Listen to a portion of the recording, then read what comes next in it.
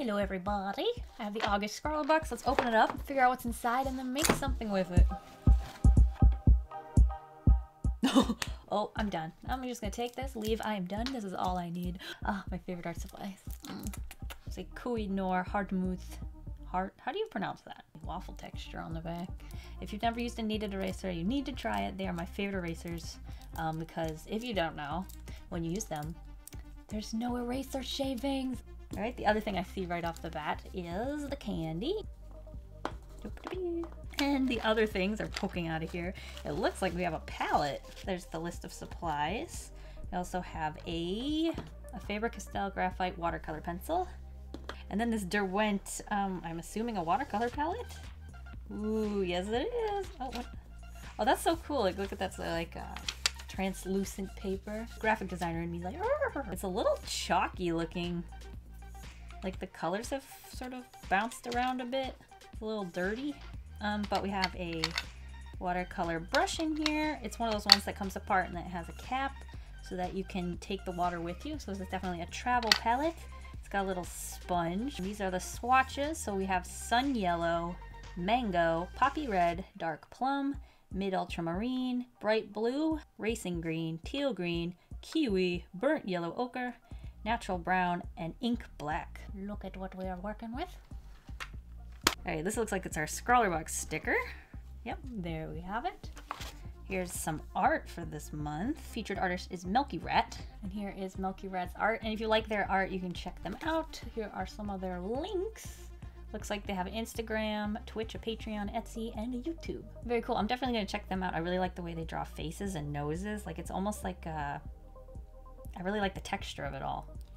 And it looks like they've also included some paper and some funny long sheets of it. Interesting shape. Can I just appreciate the way that they put the little images of what you get on here? I think that just looks so cute. So we have the Derwent Inktense pan set. That's what this is. Then also this is uh, the Faber-Castell. I think everything is listed on there. I think we got that right. It's the Faber-Castell Aquarella in 2B. And then my baby, the kneaded eraser. Oh, and they listed what type of paper this was, actually. That's nice. It's the Botanical Ultra Smooth Watercolor Paper. It's got like a ripped edge to the side of it. Could probably cut that off if I didn't like it. 300 GSM, made from 50% cotton and is bright white. It's a non-standard shape.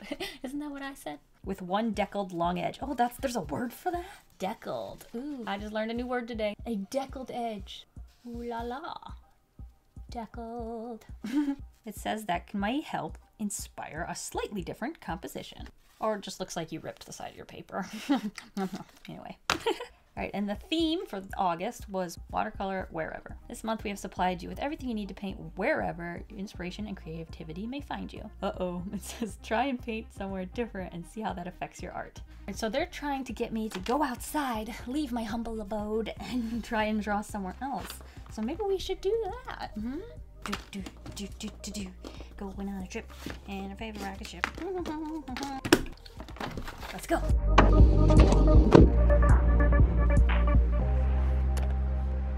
Alright, I'm here. I braved the wilderness. It's actually not so bad. They sell a uh, fudge over there. And there's also this really weird goat. Oh, my hair and the humidity are about to start World War III, and I feel really sticky. But we are going to get this done. I've got my paper.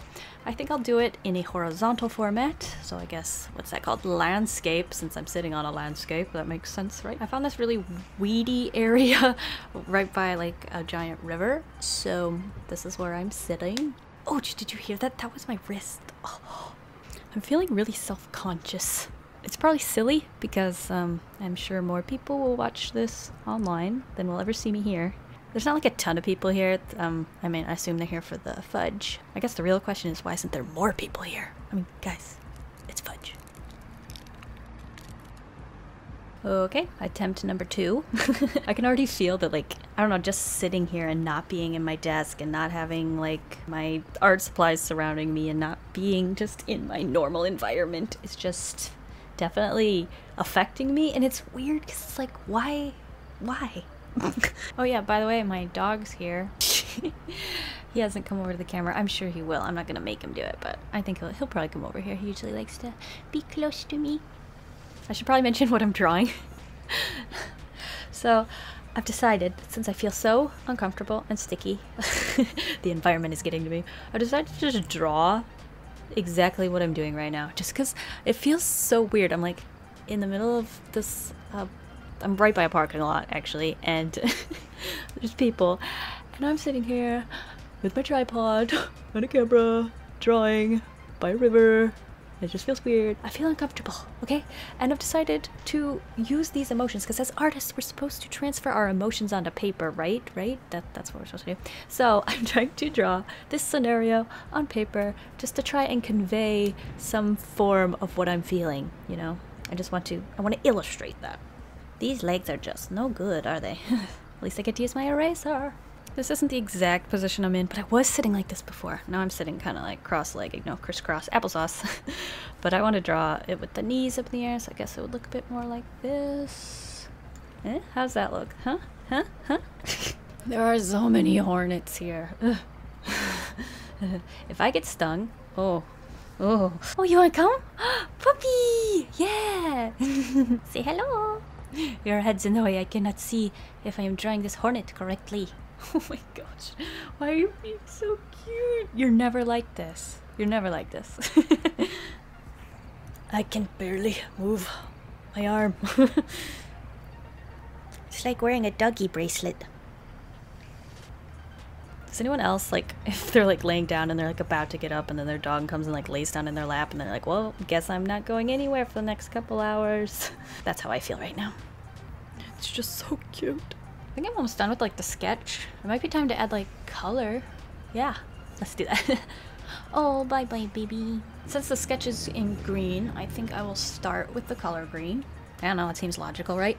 Although none of these greens are quite the right color, so I think I'm just gonna mix all three of them. So that color seems a bit better. And then I can put this all in the as the grass area of the drawing. This is, I really like this color actually. it's very like desaturated. So maybe if I can use like a more saturated color for the character, it'll pop. That'd be cool. I can also use this color for those like big tall weeds in the background.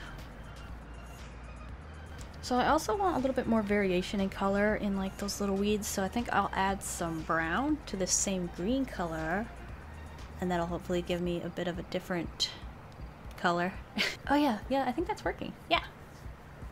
So I've got a pretty earthy toned picture here and I want to color in the tripod and my tripod is like, you know, solid black, but I don't want it to like look solid black, you know what I'm saying, in the drawing, because then it would be like, like a really big focal point. So I'm thinking I'll just add some black to this brown color I have and that'll tone it down a bit and then I can just color it in. Yeah, that seems better than it could be, you know? Like, I just don't want it to be super out there, you know? I kind of want it to look like a cohesive drawing. I'm trying at least. yeah, I think that worked, right?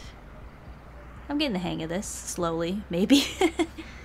oh shoot, I just colored in the whole sketchbook black and I didn't leave space for like the paper that I'm actually drawing on. oh well. oh, my doggy's brown. I can color him in. I already have a brown here. Dummy. So next I'd like to color in my jeans. But again, I don't want to have that like problem of having like a really harsh blue color. So I mean like what if I just added the smidgiest of browns to the blue? Like I don't want to get a super muddy blue, but I don't want to have like a really blue blue if you know what I mean. Let's try that out. Uh, I think that works. Like it doesn't look too gross, right? And it makes the whole picture sort of cohesive in a way. Now for my hair. Oh, that's like too dark. that's a bit better. Still not quite my hair color, but it'll do. And then I'm wearing a red shirt, so I guess I should draw myself in a red shirt. And uh, I could add a little bit of brown to that as well. Maybe help.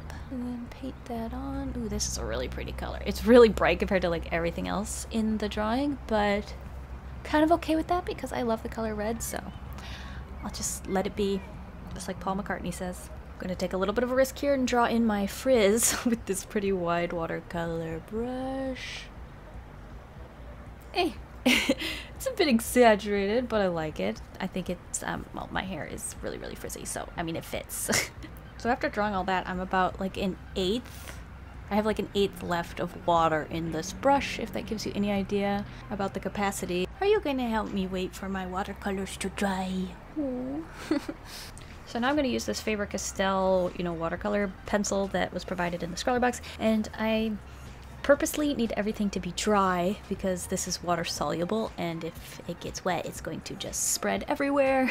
I want to use it more of like as a liner or a liner pencil. It's a bit thick, like it has a pretty wide area that it covers. but I think I'm okay with that because I do prefer a wider line art just personally with my art style, especially when I'm drawing in my more jelly bean art style. But yeah, I am liking this. I think it I think it suits the style pretty well. Okay, those, I don't want to toot my own horn or anything, but I'm really happy with the way these tripod legs came out. And then the hornet with a swoosh.